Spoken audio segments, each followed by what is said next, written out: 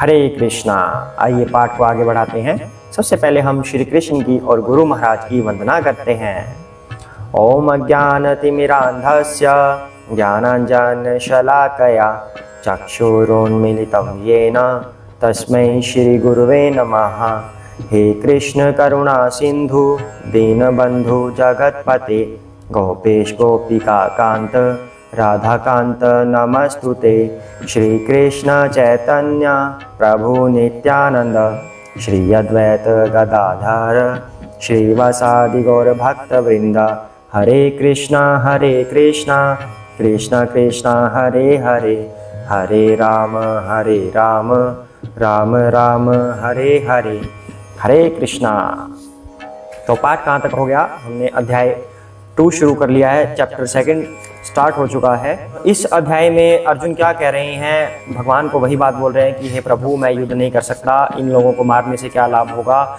और वो बैठ जाते हैं। तो भगवान कहते हैं, उसके बाद कि, हे पुत्र तुम इस नपुंसकता को प्राप्त मत हो। तुम सोचते हो कि ये मेरी दया है इनके प्रति, यानी कि अर्जुन की दया है इन लोगों के प्रति, पर लोग सोचेंगे कि तुम डर गए इतने बड़े योद्धाओं से, इससे तुम्हें अपयश की ही प्राप्ति होगी। तो इस तरह से वार्तालाप हो रही थी और श्री कृष्ण कह रहे हैं कि अपनी हृदय की इस दुर्बलता को त्याग दो और युद्ध के लिए खड़े हो जाओ। हरे कृष्णा। तो अब आगे करते हैं। अर्जुन उवाच कथम भीषम हम संख्ये द्रोणम च मधुसूदन ईशु भी प्रतियोत्स्यामी वरिसूदन। हरे कृष्णा। अर्जुन ने कहा, हे शत्रुहंता हे मधुसूदन, मैं युद्ध भूमि में किस तरह भीष्म तथा द्रोण जैसे पूजनीय व्यक्तियों पर उलट कर बाण चलाऊँगा? हरे कृष्णा। अर्जुन क्या कह रहे हैं? पहले भी ये बात हो चुकी है कि जो भीष्म पितामह है, वो किसको रिप्रेजेंट कर रहे हैं? मटेरियल रिलेशनशिप्स को। और जो द्रोणाचार्य हैं, वो अटैचमेंट टू मटेरियल नॉलेज तो अर्जुन कह रहे हैं कि मैं किस तरह से जो मैंने नॉलेज ली हुई है, जो ये मटेरियल नॉलेज ली हुई है, उसको मैं कैसे काटूं? उस पर मैं बाण कैसे चलाऊं? द्रोणाचार्य पर मैं कैसे बाण चलाऊँगा? अर्थात जो मैंने मटेरियल नॉलेज पहले से ली हुई है, कौन सी नॉलेज एक बम का गोला था कहीं पे और वो फूट गया, तब पृथ्वी बनी थी। मैं कैसे उस चीज़ को झुटला दूँ? कैसे उस चीज़ को मानने से इनकार कर दूँ? कैसे उस अज्ञानता पर मैं बाण चलाऊं? ये चीज़ हमारे लिए है। अर्जुन भी इसी तरह की बात कर रहे हैं कि कैसे मैं अपने गुरु द्रोणाचार्य के ऊपर बाण चलाऊं? और जो भीष्म पितामह है, कैसे मैं अपने रिश्तेदारों पर, अपने सगे संबंधियों पर बाण चलाऊं? ठीक है, और हमारे लिए क्या है? कैसे मैं अपने पितामह को छोड़ दूँ? किस तरह से मैं अपने घर वालों को छोड़ दूँ? कैसे मैं भक्ति करूँ? तो ये अर्जुन इस तरह के सवाल कर रहे हैं कि हे शत्रुहंता, की शत्रुओं के विघ्न करता शत्रुओं को मार डालने वाले हे कृष्ण, हे मधुसूदन, जो अज्ञानता को समाप्त करते हैं, हे कृष्ण। इस तरह से अर्जुन संबोधित कर रहे हैं कि मैं युद्ध भूमि में कैसे पलटकर उन पर बाण चलाऊँगा? कैसे मैं अपनी मटेरियल नॉलेज के अगेंस्ट लड़ूँगा कि जो मैंने भौतिक जीवन से जो नॉलेज ली हुई है, जो व्यर्थ है, लगभग व्यर्थ है, कि कोई बम का गोला तो था ही नहीं, कि जो फूट के पृथ्वी बनी है, ऐसा कुछ नहीं होता शास्त्रों में तो बताया गया है कि भगवान ने ये सब बनाया है। भगवान के अंश हम हैं। भगवान से ही हम निकले हैं। पूरा विस्तृत वर्णन किया हुआ है शास्त्रों में कि पृथ्वी कैसे बनी थी, हम लोग कैसे बने थे। लेकिन वहाँ पर किसी बम के गोले का ज़िक्र नहीं है, जो साइंटिस्ट ने हमें दिया हुआ है। तो उस नॉलेज को हम पकड़ कर बैठे रहते हैं। उसको हम झुटलाने के लिए तैयार ही नहीं है। उसके ऊपर जाकर स्पिरिचुअल नॉलेज लेने के लिए हम तैयार ही नहीं हैं। उसी तरह अर्जुन कह रहे हैं कि मैं अपने गुरु द्रोणाचार्य के अगेंस्ट कैसे लड़ूं? अब आगे क्या कह रहे हैं? गुरुन हत्वा ही महानुभावान, श्रेयो भोक्तुम भैक्षम पिह लोके। हत्वा कामास्तु गुरु निहय भुंजीय भोगान रुधिर प्रतिगधान हरे कृष्णा। ऐसे महापुरुषों को जो मेरे गुरु हैं, उन्हें मारकर जीने की अपेक्षा इस संसार में भीख मांग कर खाना अच्छा है। अर्जुन ऐसा कह रहे हैं, भले ही वे सांसारिक लाभ के इच्छुक हों, किंतु हैं तो गुरुजन ही। यदि उनका वध होता है तो हमारे द्वारा भोग्य प्रत्येक वस्तु उनके रक्त से सनी होगी। हरे कृष्णा। अर्जुन इतने दयावश हो गए हैं। इतना रोने लगे हैं, वो अंदर से भी और बाहर से भी उनके आँसू निकल रहे हैं। अर्जुन की स्थिति अत्यंत दयनीय हो गई है। हम तो हँसी खुशी ये पाठ कर रहे हैं। अर्जुन के बारे में बता रहे हैं कि ऐसी वार्तालाप हुई थी, पर अगर वास्तव में वो दृश्य देखा जाए तो इतना मार्मिक दृश्य है। अर्जुन के सामने इतनी बड़ी प्रॉब्लम इकट्ठी खड़ी हो गई है कि वो करे तो क्या करे? एक भौतिक मनुष्य होने के नाते अगर सामने अपने ही स्वजन खड़े हो और उनके अगेंस्ट हमें युद्ध लड़ना हो, लड़ाई करनी हो तो हम कैसे करें? ये बात अगर हम खुद पर सोच के देखें तो कितना मुश्किल है। अर्जुन की स्थिति इतनी दयपूर्ण हो गई है, इतनी दयनीय स्थिति हो गई है अर्जुन की कि वो क्या करे और क्या ना करे। कह रहे कि अगर हम इनका वध कर देते हैं और उससे सुख भोगते हैं तो वो सारा सुख जो धन दौलत होगी, राज्य होगा, वो इनके खून से सनी हुई होगी। और दूसरा कह रहे हैं कि जो मेरे गुरु हैं, उन्हें मारकर जीने की अपेक्षा भीख मांगकर खाना अच्छा है कि हम ये युद्ध तो इसीलिए लड़ रहे हैं ना कि हमें राज्य मिल जाए। तो उस राज्य को लेने की बजाय अगर हम भीख मांग लें, पर इनकी जान बख्श दें तो वो ज़्यादा अच्छा है। तो अब यहाँ पे गुरु से एक बात आती है, जैसे हम लोगों के भी गुरु होते हैं, आम मनुष्यों के भी बहुत सारे गुरु होते हैं तो गुरु का मतलब होता क्या है? गु का मतलब नरक, और रू का मतलब नरक से निकालने वाला। अर्थात गुरु कौन हुआ? जो नारकीय जीवन से हमें बाहर निकाले, उसको गुरु बोलते हैं।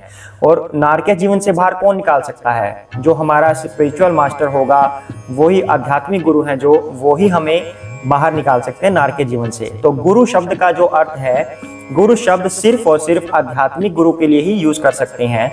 लेकिन आजकल क्या चल रहा है? हम कॉलेज टीचर्स को भी गुरु बोल देते हैं स्कूल टीचर्स को भी गुरु बोल देते हैं और तरह तरह के गुरु फ़ैशन गुरु मटेरियल गुरु मार्केटिंग गुरु लव गुरु, पता नहीं कौन कौन से हमने गुरु बना दिए हैं। पर गुरु शब्द सिर्फ़ और सिर्फ़ आध्यात्मिक गुरु के लिए प्रयोग होगा, जो हमें इस नारकीय जीवन से बाहर निकाले और भगवान के प्रति हमारा आकर्षण बढ़ाए, भगवान के प्रति हमारी आसक्ति बढ़ाए, उसे ही हम गुरु कह सकते हैं। अब कॉलेज टीचर की बात लगा लीजिए, हम कह देते हैं कि गुरु हैं। टीचर कभी गुरु नहीं हो सकते। टीचर मटेरियल नॉलेज हमें देते हैं। मटेरियल हमारा पेट पूजा करने के लिए हमें नॉलेज देते हैं कि कैसे आपको जीवन यापन करना है। उसकी नॉलेज देते हैं। साइंस की नॉलेज दे दी हमें मैथमेटिक्स की नॉलेज दे दी इंग्लिश की नॉलेज दे दी, किसी लैंग्वेजेस की नॉलेज दे दी। इस तरह से वो मटेरियल नॉलेज हमें देते हैं। पर वो गुरु नहीं है। वो हमें अपने इस नार के जीवन से बाहर नहीं निकाल सकते। वो हमें आध्यात्मिक गुरु ही निकालेंगे। तो गुरु शब्द equal to not teacher teacher और गुरु एक नहीं है। हाँ जो गुरु होते हैं, आध्यात्मिक गुरु होते हैं, वो टीचर ज़रूर होते हैं, क्योंकि वो हमें आध्यात्मिक शिक्षा देते हैं। जो आध्यात्मिक गुरु हैं, वो टीचर हो सकते हैं, पर जो टीचर हैं, वो आध्यात्मिक गुरु नहीं हो सकते। मतलब हो सकते हैं, अगर वो उस तरह का आचरण अपना ले, अपने धर्म को अपना ले, उस तरह से अगर वो बनना चाहे तो वो बन सकते हैं। पर जो इस टाइम वो टीचर हैं, उनको हम गुरु नहीं कह सकते। तो इस तरह से गुरु शब्द का ये अर्थ निकलता है। तो अर्जुन कह रहे हैं कि जो मेरे गुरु हैं, उन्हें मारकर जीने की अपेक्षा मैं भीख मांगकर खा लूँ। अब यहाँ पर बात आती है कि आजकल तरह तरह के गुरु होते हैं, जो हमारे संप्रदाय के बड़े बड़े भक्त हैं बड़े बड़े भक्त हैं, जो गुरु महाराज हैं, वो ऐसा बताते हैं कि जैसे बोगस गुरु होते हैं, कोई चमत्कार कर देते हैं मिराकल कर देते हैं।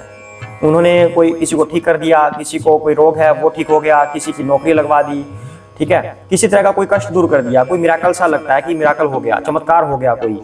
तो उस समय हमें क्या लगता है? यही हमारे गुरु हैं, हम इनके प्रति समर्पित हैं अब। इनसे ऊपर कोई नहीं, यही गुरु हैं। तो हम उन्हें गुरु मान लेते हैं। पर क्या वो हमारा आकर्षण भगवान के प्रति बढ़ा रहे हैं? हमें ये चीज़ देखनी चाहिए। अच्छी बात है कि गुरु को मारना नहीं चाहिए, गुरु को छोड़ना नहीं चाहिए। लेकिन अगर गुरु धर्म का मार्ग त्याग दे, तब उस गुरु को छोड़ना ही अच्छा होता है, ऐसा शास्त्र प्रमाणित है। तो ऐसा नहीं कि हमें गुरु को छोड़ना ही नहीं है, वो अधर्म पर चलने लग गया गुरु, और हम उसे छोड़ नहीं सकते, नहीं, हमें तो पकड़ लिया गुरु। जो गुरु धर्म का मार्ग छोड़कर अधर्म पर चलता है, उसे नारकीय जीवन जीना पड़ता है, उसे नरक में वास करना पड़ता है। और जो शिष्य उनके पीछे चलते रहते हैं, तब भी पता लगने के बाद कि इन्होंने अधर्म का रास्ता अपना लिया है, उन्हें भी नरक में वास करना पड़ता है। इसलिए ऐसे गुरु को त्याग दो, जिन्होंने धर्म का मार्ग छोड़ दिया है। प्रमाणिक गुरु को कभी मत त्यागो, क्योंकि प्रमाणिक गुरु का मतलब ही यही है कि वो भगवान के द्वारा भेजे गए हैं। अब एक उदाहरण ले लेते हैं। हमारे गुरु महाराज, श्री गोपाल कृष्ण गोस्वामी महाराज, अभी अभी उन्हें कुछ दिन पहले शरीर छोड़ा है, अपना शरीर त्याग दिया है। उनकी कुंडली किसी भक्त ने, किसी एस्ट्रोलॉजर को दिखाई कि बताइए इनकी कुंडली में क्या है। तो उस, आप जानकर मतलब आश्चर्यचकित हो जाएँगे तो कि उनकी कुंडली के बारे में क्या बताया गया। उस एस्ट्रोलॉजर ने बताया कि ये कौन है? ये मनुष्य नहीं है। ये जब चलते हैं तो इनके पीछे पीछे देवी देवता चलते हैं, तरसते हैं कि ये हमें अपनी शरण दे दें। इतने ज़्यादा ये भगवान से अटैच्ड हैं, इतने ज़्यादा ये महान हैं, ये आध्यात्मिक गुरु हैं। देवी देवता भी जिनके पीछे चलने के लिए उत्सुक रहते हैं, हर समय इनके आगे पीछे मटराते रहते हैं कि अगर हमें इनकी शरण मिल जाए तो हमारा जीवन धन्य है। इन्हें कहते हैं गुरु। ये होते हैं आध्यात्मिक गुरु। वो नहीं कि कुछ कुछ हो रहा है, धर्म छोड़ दिया, अधर्म पर चलने लग गए सिर्फ़ ऐसे कर दिया कि तुम ठीक हो जाओगे, तुम्हारी नौकरी लग जाएगी, तुम्हारे रोग ठीक हो जाएँगे। जरा सा मिराकल कर दिया और गुरु बन गए। नहीं, ऐसे गुरुओं को त्याग देना अच्छा होता है। तो यहाँ पे अर्जुन वही बात कर रहे हैं कि मैं अपने गुरु को कैसे मार दूँ? अब उनके जो गुरु हैं, द्रोणाचार्य भले ही उन्होंने मटेरियल नॉलेज दी हो, धनुर्विद्या अर्जुन को दी हो, लेकिन अब वो अधर्म के मार्ग पर चलना शुरू कर चुके हैं। अब वो अधर्म की तरफ़ से लड़ रहे हैं। तब ऐसे गुरु को त्याग देना ही उत्तम होता है, ऐसा श्री कृष्ण कहते हैं। तो अब श्री कृष्ण अर्जुन को प्रोत्साहित करेंगे कि तुम्हें इन्हें मारना चाहिए, क्योंकि ये अधर्मी हो गए हैं। तो आगे बढ़ते हैं, क्या करें अर्जुन आगे? न चैतत् विद्मः कतरत् यत्वा जयेम, यदि वा न एव हत्वा न ते अवस्थितः प्रमुखे धार्तराष्ट्रः। हरे कृष्णा। हम यह भी नहीं जानते कि हमारे लिए क्या श्रेष्ठ है। उनको जीतना या उनके द्वारा जीते जाना। यदि हम धृतराष्ट्र के पुत्रों का वध कर देते हैं तो हमें जीवित रहने की आवश्यकता नहीं है। फिर भी वे युद्ध भूमि में हमारे समक्ष खड़े हैं। हरे कृष्णा। तो अर्जुन क्या कह रहे हैं यहाँ पर? अब उन्होंने धृतराष्ट्र के पुत्रों की भी बात कर दी, अपने भाइयों की भी बात कर दी, अपने चचेरे भाइयों की भी बात कर ली उन्होंने। कह रहे हैं कि हमारे लिए श्रेष्ठ है क्या? हमें तो कुछ पता ही नहीं लग रहा कि हम उनके पुत्रों का वध करें तो हमें जीवित रहने की भी क्या आवश्यकता है? अगर हमारे भाई बंधु ही नहीं रहेंगे तो हम इस सुख को भोगेंगे किसके साथ? तो हमें क्या जीने की आवश्यकता है? फिर वे युद्ध भूमि में हमारे सामने भी खड़े हैं, हमारे सामने भी खड़े हैं और उनको मार के तो हमें मिलेगा भी क्या? तो अर्जुन इस तरह से कंफ्यूज हो चुके हैं और बड़ा रुद्न कर रहे हैं। इतनी मार्मिक उनकी स्थिति बन गई है कि वो करे तो क्या करें? अगर हम उनको मार दें, यानी कि श्रेष्ठ है क्या उनको जीतना या उनके द्वारा जीते जाना? मतलब अगर हम उनको मार दें तो हमें ये राज्य मिल जाएगा। अगर राज्य मिल गया तो हम उसको भोगेंगे किसके साथ? तो क्या ये श्रेष्ठकर है या नहीं है? या फिर अगर वो हमें मार दें, यानी कि वो हमें जीत लें, क्या वो हमारे लिए श्रेष्ठकर होगा कि हम उस पाप से बच जाएँगे कि हमने भाइयों का वध किया? तो अर्जुन कंफ्यूज हो गए कि इन दोनों में श्रेष्ठ है क्या? तो ऐसा सवाल वो श्री कृष्ण के सामने कर रहे हैं। तो आज के लिए हम इतना ही करते हैं। सभी साथ में बोलेंगे, जय श्री कृष्ण चैतन्य प्रभु नित्यानंद, श्री अद्वैत गदाध श्री वसाद गौर भक्त वृंदा हरे कृष्ण हरे कृष्ण कृष्ण कृष्ण, हरे हरे हरे राम हरे राम राम राम, हरे हरे हरे कृष्णा।